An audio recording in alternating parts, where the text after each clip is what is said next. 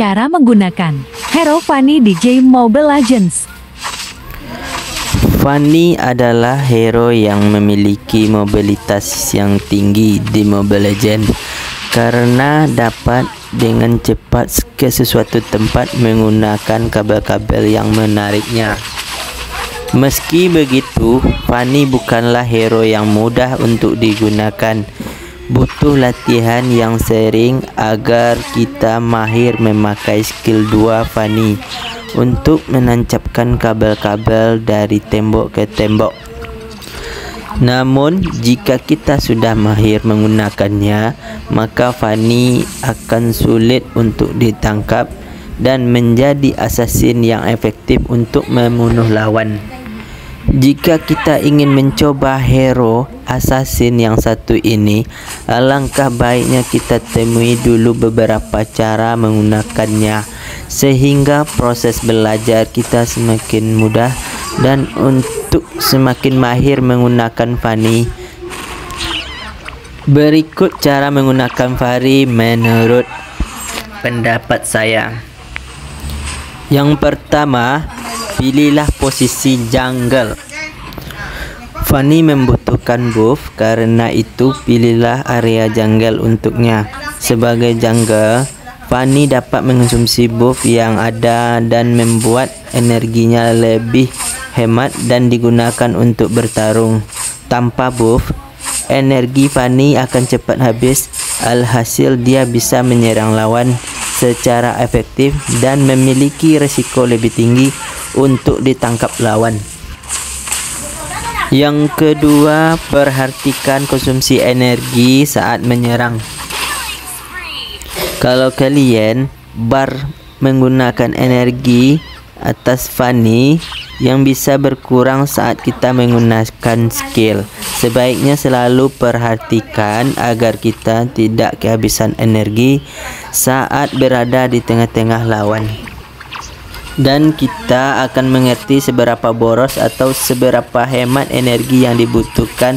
Jika rutin belajar menggunakan ini akan mengerti. Yang ketiga memanfaatkan mobilitas untuk membantu teman mengalahkan lawan saat war. Pergerakan yang cepat dapat membuat Fanny mengunjungi lane teman atau tim dan membunuh lawan-lawannya yang ada di sana. Serangan Fanny yang cepat sulit diprediksi oleh lawan. Gunakanlah dua atau tiga kabel saat menyerang. Jika hanya satu kabel, karena dua atau tiga kabel akan membuat pergerakan Fanny semakin cepat. Yang keempat, mengincar mage dan maksmal lawan.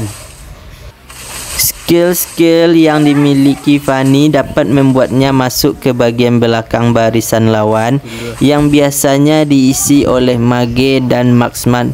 Kemudian kabur setelah membunuh mereka. Namun sebaiknya tunggulah hingga tank atau mage lawan mengeluarkan ulti mereka baru kita menyerangnya. Yang kelima, perhatikan kapan buff muncul.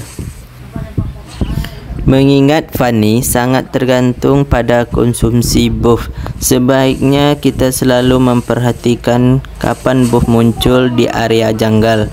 Utamakanlah untuk mengkonsumsi buff sebelum memulai menyerang. Jangan memaksakan diri menyerang tanpa buff.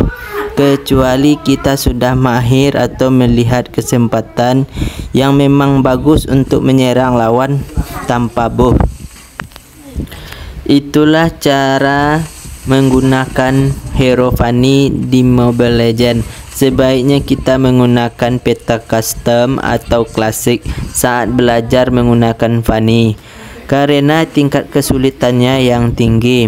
Kita bisa menjadi beban jika belum mahir menggunakannya, tetapi malah memiliki peta ranked Selain itu sebaiknya kita juga mengingatkan teman-teman satu tim kita untuk tidak mengambil buff yang seharusnya jadi milik kita.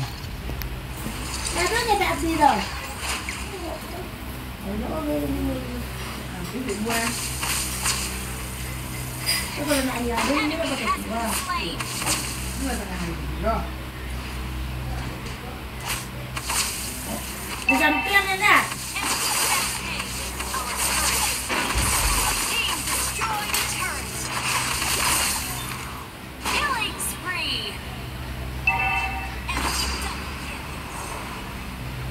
Nandun sa on na di ba? Tapos na. Oh, ka na? Tanga tulo. Tanga tulo sa dulo. Oh, namigay na ba? Mana tu nak ribu ni. Ani boleh kan tiga ribu tiga ribu kan? Ani boleh tiga ribu. Jalan ni. Ani nak. Ani kita kita teh lah. Jangan nak lebih pun nak aju tu buang kan ni. Wah, dia gila kena tangga, tangga oh, sama aja memang. Jadi tangga sambalnya. Ayam kali, ayam rendang, kata aku baru rendang. Salah wak, dia kira lah, dia nak waktu dia tu. Itu je lah. Itu ya, itu dia. Itu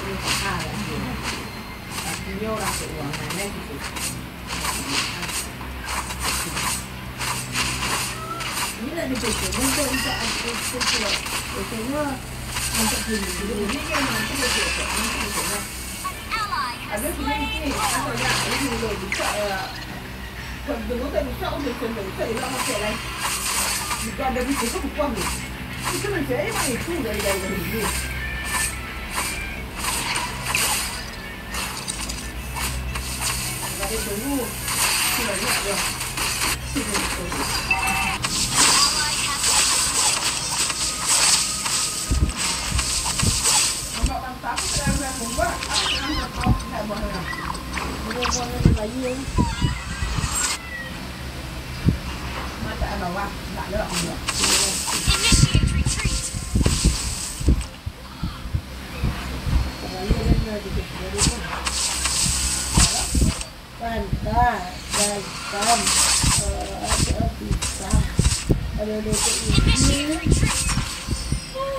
Dah, ya. Boleh dengar dia. Boleh dengar dia. Boleh dengar dia. Enemy. Yang kilo banyak ada je kita.